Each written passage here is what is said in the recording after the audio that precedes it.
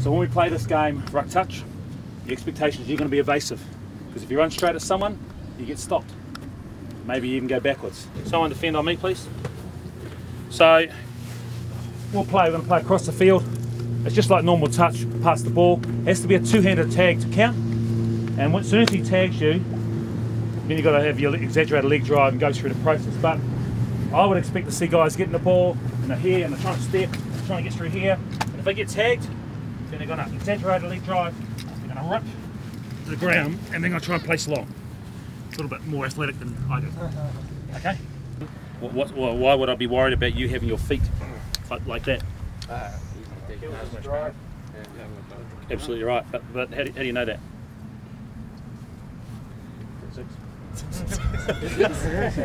Physics. Good work. Good work. College. I love you. I love, I love you, uh, students. Bloody magnificent. Come up with magnificent answers. So keep, keep your feet facing towards these guys, and lean into me. And I want you to push me back. Go. Okay, hold of here. Will you break me? Right, turn around now. Feet facing forward.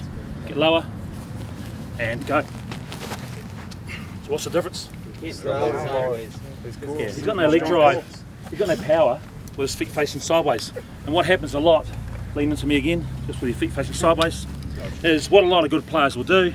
I want you to, I want you to pump your legs go forward. Go. Get him down here. Tug away at the ball.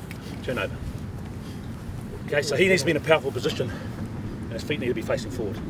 Right. So expect to see that every time in the next one. So carry us.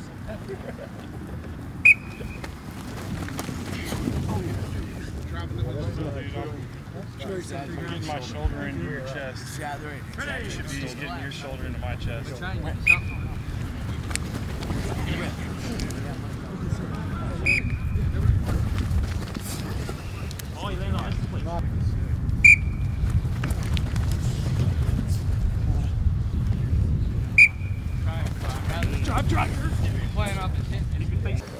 Hey, um, so a couple of things.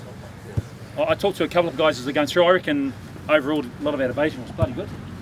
You reckon? Yeah. Uh, I heard the feedback you guys are giving us some positive stuff, eh? So what's something we could do a little bit better? Lower. Lower? Yeah, Ball placement. Same on this group, eh? Yeah. steps.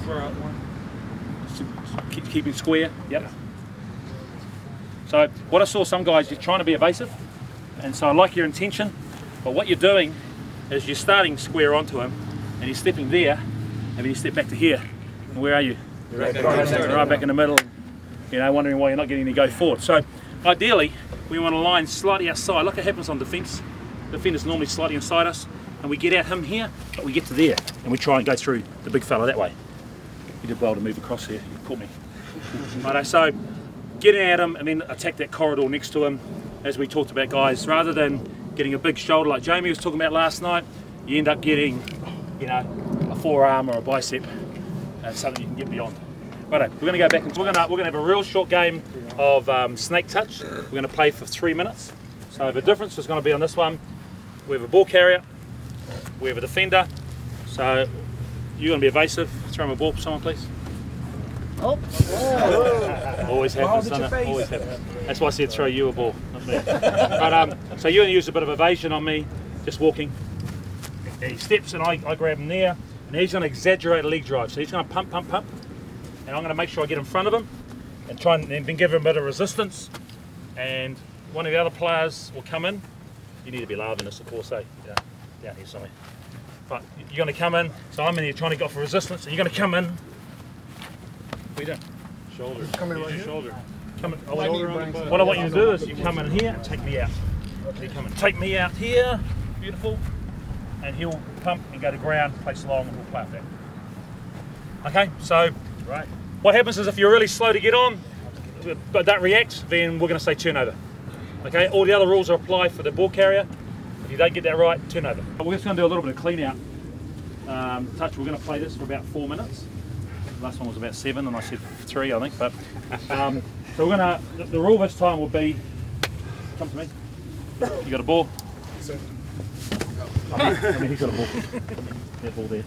Good work, mate. Um, so you're going to use your evasion as you normally would. So you're going to step, and I'm going to try to get it here, and I get two-handed in. You're going to pump, pump, pump. and I'm going to try and get in front of you, and then you're going to go to ground, and this guy's just going to get into this position here, and I, I want you in here, not, don't want you low down on the ball, uh, putting your forehead on the ball or anything like that, because to get you off, I'm going to hit you pretty hard, and this is more about technique, so we're going to get in here, and we're just going to tackle. So we're going to get our shoulders under the chest, and drive this guy off. Okay, and you're going to hang on to him for a sec before you let him go. Ideally, I'd want you to take him off his feet so he's out of the game, but we won't do that today. But just hang on for half a second and then we play.